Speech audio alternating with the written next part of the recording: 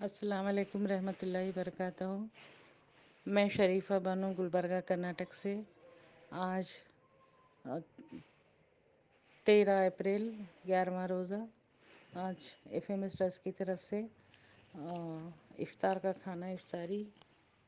فخر فخرالنساء بیگم، محمودہ اختر اور سجاد نواز خان صاحب کی مرحومین کے نام سے یہ کھانا، برسی کا کھانا کھلایا جا رہا ہے۔ اللہ تعالیٰ اس کو قبول کرے اور ان کو خبر عذاب سے بچائے، جہنم کی آگ سے بچائے اور اللہ ان کو، ان کی مغفرت کرے، جنت الفردوس میں جگہ عطا فرمائے۔ مرحومین کو اس فاتحہ کا ثواب، اس کھانا کھانے کا ثواب پہنچے، اس روزے داروں کی دعا ان کے حق میں قبول ہو۔ آمین۔ ثم آمین۔ جزاک اللہ خیرن کثیرن کثیرا۔ اعوذ باللہ من الشیطان الرجیم، بسم اللہ الرحمن الرحیم۔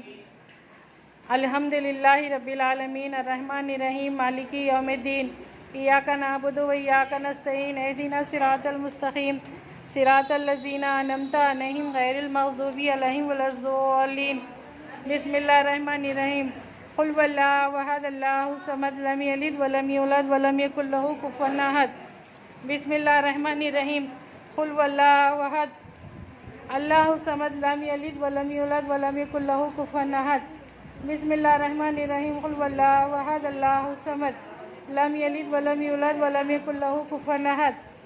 اللهم صل على محمد وعلى آل محمد كما صليت على إبراهيم وعلى آل إبراهيم إنك حميد مجيد. اللهم بارك على محمد وعلى آل محمد كما باركت على إبراهيم وعلى آل إبراهيم إنك حميد